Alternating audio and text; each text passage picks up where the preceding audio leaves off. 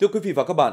sáng nay tại xã An Viên, huyện Tiên Lữ trọng thể tổ chức lễ đón nhận bằng xếp hạng di tích quốc gia đặc biệt đền An Xá, hay còn gọi là đền Đậu An, quyết định công nhận bảo vật quốc gia tháp đất nung đền An Xá và khai mạc lễ hội Đậu An năm 2022.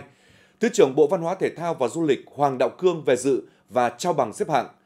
Đồng chí Trần Quốc Văn, Phó Bí thư tỉnh ủy, Chủ tịch Ủy ban nhân dân tỉnh Hưng Yên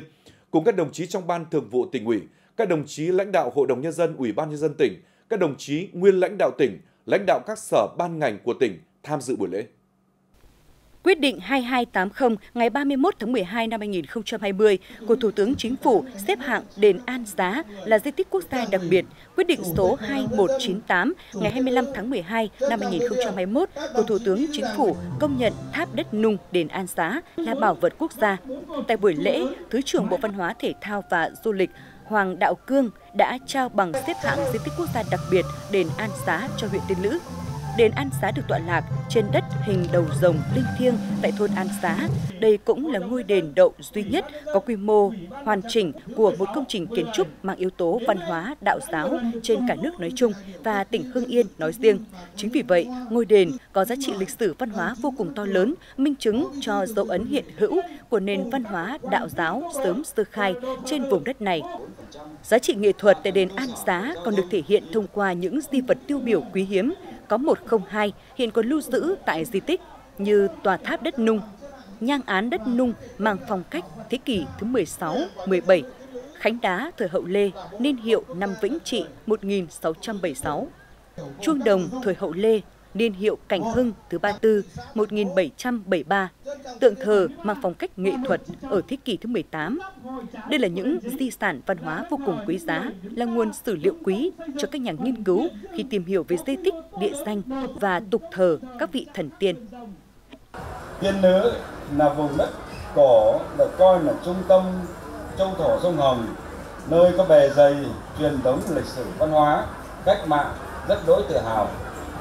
Thời kỳ nào mảnh đất này cũng ghi dấu đóng góp xứng đáng vào quá trình phát triển chung của tỉnh, của đất nước. Thế kỷ thứ 10 khi còn có tên là vùng đất Kê Nạc, huyện Tiên Nữ còn lưu giữ được 138 di tích các loại, trong đó có một di tích xếp hạng quốc gia đặc biệt, 12 di tích cụm di tích xếp hạng quốc gia, 16 di tích cụm di tích xếp hạng cấp tỉnh, một bảo vật quốc gia và nhiều lễ hội truyền thống đặc sắc. Tôi biểu dương và đánh giá cao những cố gắng và nỗ lực của sở văn hóa thể thao và du lịch ủy ban nhân dân huyện tiên nữ ủy ban nhân dân xã an nhiên ban quản lý di tích cơ sở cùng nhân dân địa phương trong công tác bảo tồn phát huy giá trị di tích trong thời gian qua. Để tiếp tục gìn giữ và phát huy giá trị văn hóa di tích quốc gia đặc biệt đền An Xá là bảo vật quốc gia đền An Xá nhân buổi lễ trọng thể này tôi đề nghị các ngành chức năng của tỉnh, cấp ủy, chính quyền, huyện Tiên Nữ thời gian tới cần tăng cường công tác quản lý di sản văn hóa và di tích lịch sử văn hóa, thực hiện có hiệu quả đúng tiến độ các mục tiêu, nhiệm vụ trong nghị quyết 13 của tỉnh ủy về chương trình bảo tồn, phát huy giá trị văn hóa, di tích lịch sử văn hóa gắn với phát triển du lịch giai đoạn 2020-2025 tầm nhìn đến năm 2030 trọng tâm là xây dựng quy hoạch tổng thể hệ thống di tích trên địa bàn huyện. Trước hết là đối với đền di tích quốc gia đặc biệt đền Hạ Sáng giao cho sở văn hóa, thể thao và du lịch nghiên cứu, khảo sát, xây dựng hồ sơ khoa học đối với hiện vật nhang án, đất nung đền An Xá. Đề nghị thủ tướng chính phủ công nhận là bảo vật quốc gia năm 2022 xây dựng hồ sơ lễ hội đền An Xá và đề nghị Bộ Văn hóa, Thể thao và Du lịch đưa vào danh mục di sản văn hóa, phi vật thể quốc gia năm 2023